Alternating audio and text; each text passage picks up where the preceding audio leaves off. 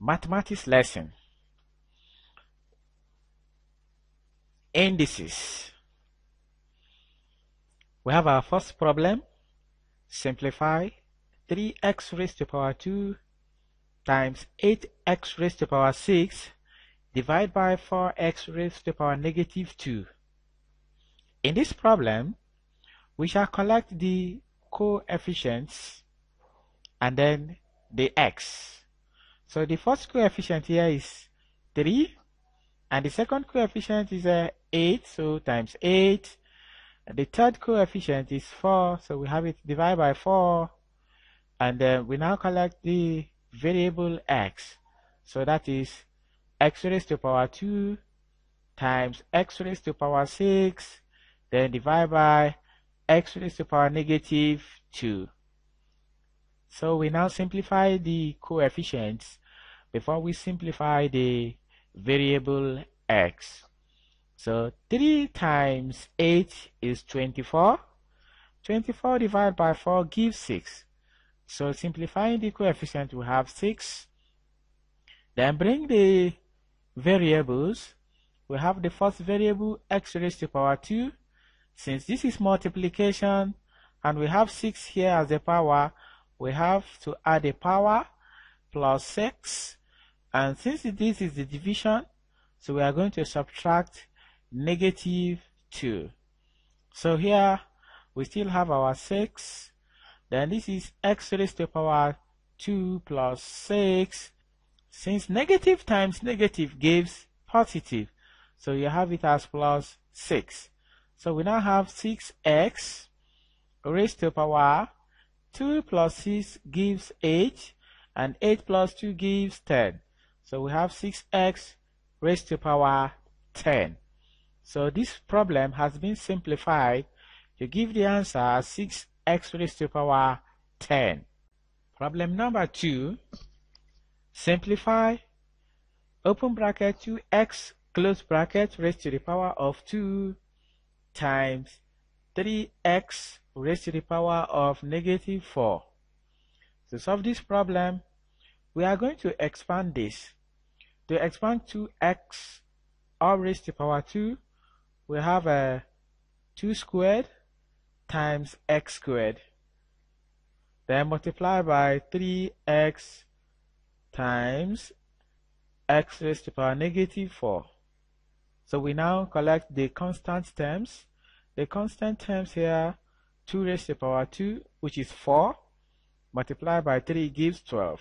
So I have 12 times x raised to the power of 2. Because of this multiplication, we have it as plus negative 4.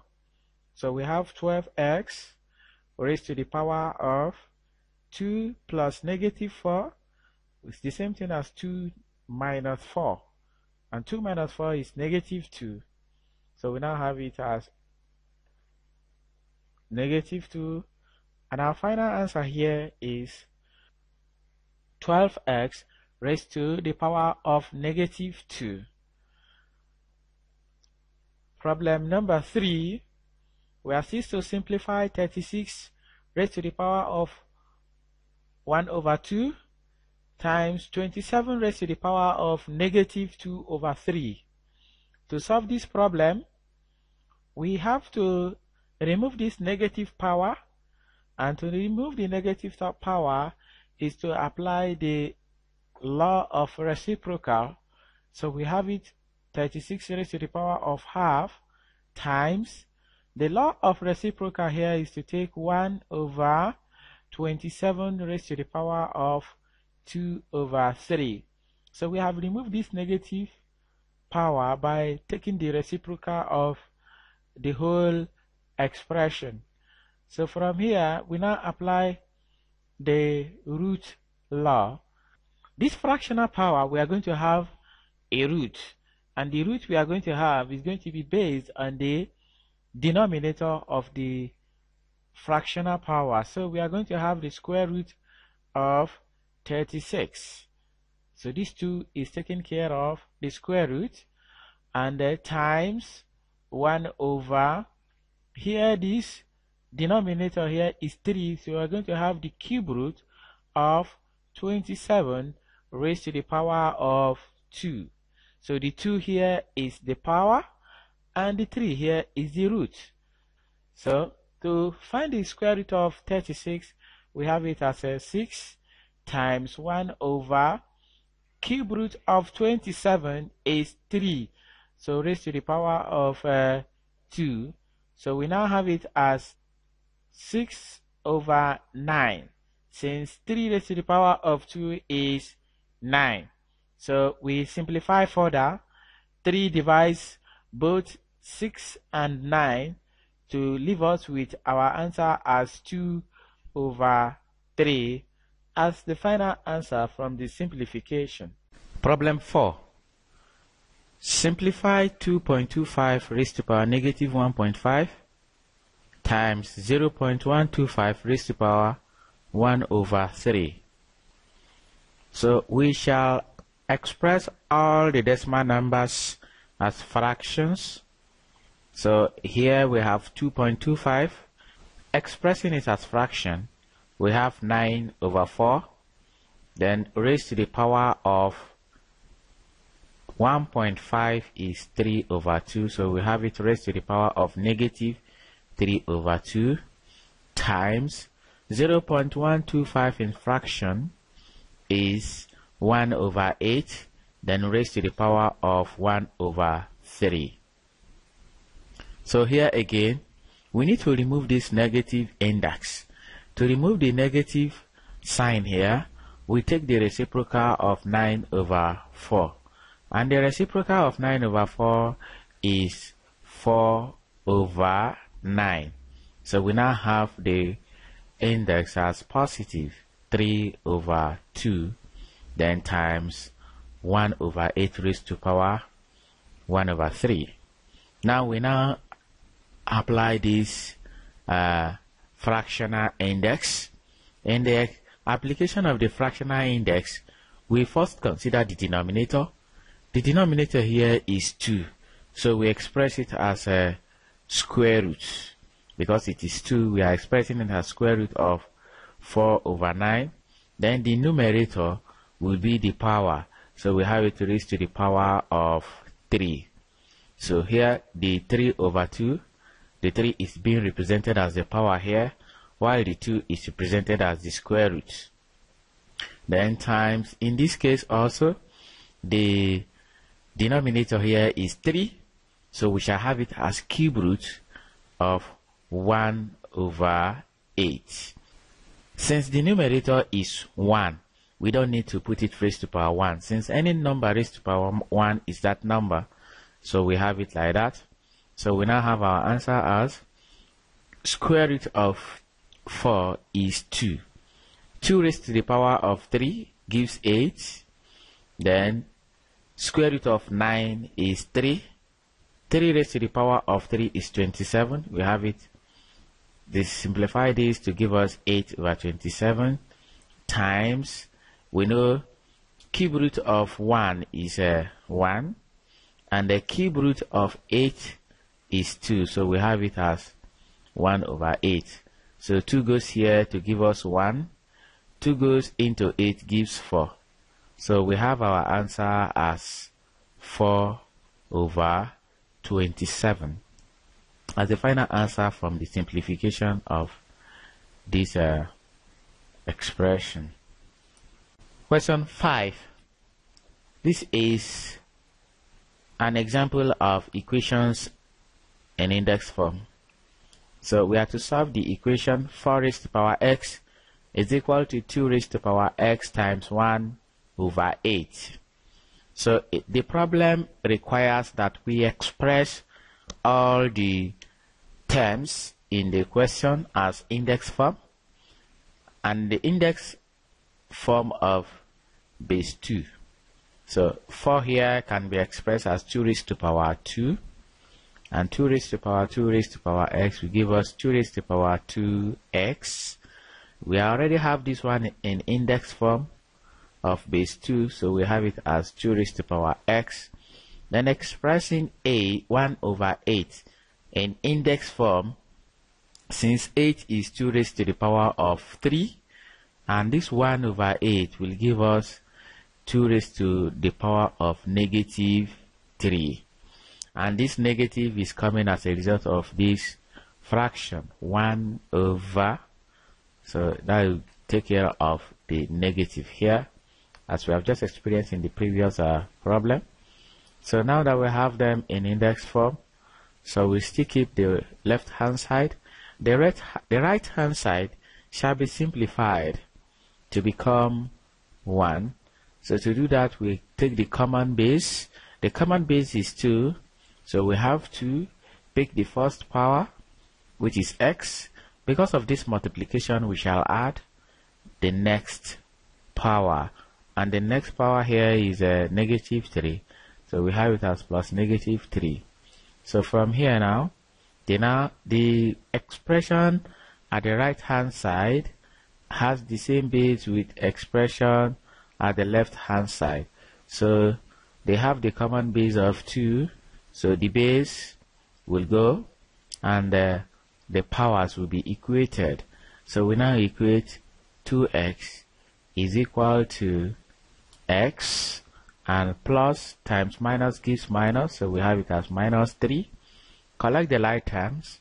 So that will give us 2x minus x is equal to negative 3 so 2x minus x gives x and our x is equal to negative 3 by that we would have solved the problem. Problem 6 Find the value of x if 3 raised to the power 2x plus 3 all over 3 times 8 raised to the power x minus 3 is equal to 1. So considering this problem, we are going to cross multiply. By cross multiplication, we say 3 times 8, 81 raised to the power x minus 3, we multiply it by 1. So that will now have this 3 raised to the power 2x plus 3 is equal to the denominator. Since cross multiplying, we bring the numerator on the, on the left hand side and the denominator goes to the right hand side by multiplying by this 1.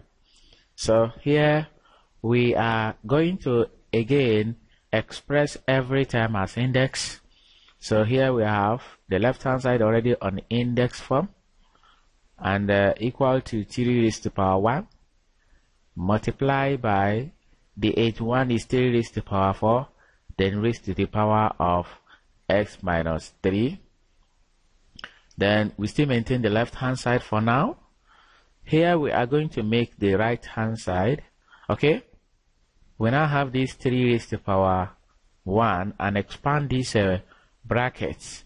Expanding the bracket we have it as 4 times x giving us 4x and 4 times negative 3 gives negative 12.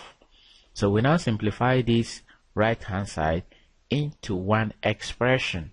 So maintaining the left hand side, we have the common base 3 raised to the power 1. Because of this multiplication, we have addition again. Then we now have 4x minus 12.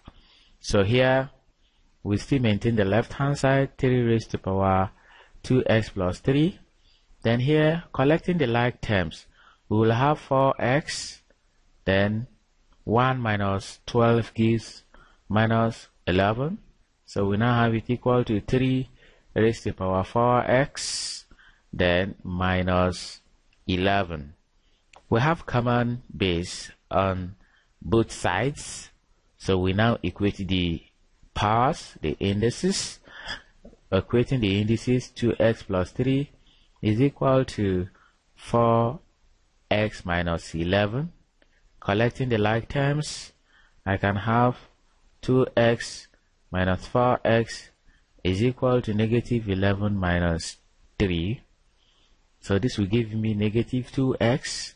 Negative 11 minus 3 gives negative 14 and from here if we divide both sides by negative 2 we have x is equal to 7 that will be the end of the solution and uh, the value of x here as required by the question is 7.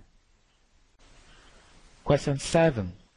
Solve the equation 25 raised to the power 2x minus 3 times 125 raised to the power of 1 minus x is equal to 1. So again, we are going to express every term here as index form and the base is going to be 5 as 25 can be written as 5 squared then raised to the power of 2x minus 3 times 5 raised to the power 3 since 125 is 5 raised to the power 3 then raised to the power of 1 minus x is equal to 1 can be written as 5 raised to the power of 0 since any number to the power of 0 is, is 1 so we are choosing 5 raised to the power 0 because every other number here has a base of 5. Now we now expand the brackets.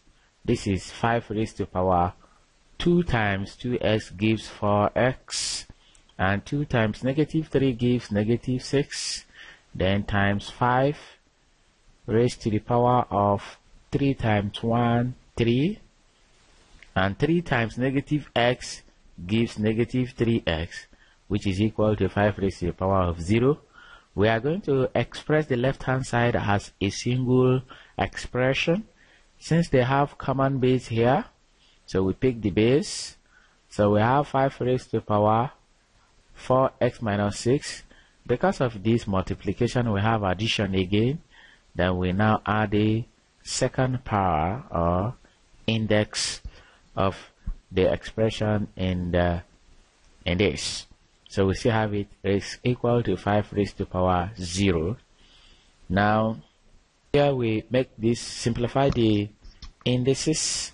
So we have 5 and here collecting the like terms the terms with x will be simplified as 4x minus 3x which will give us x and the terms without x will be simplified Negative 6 plus 3 gives negative, uh, 3.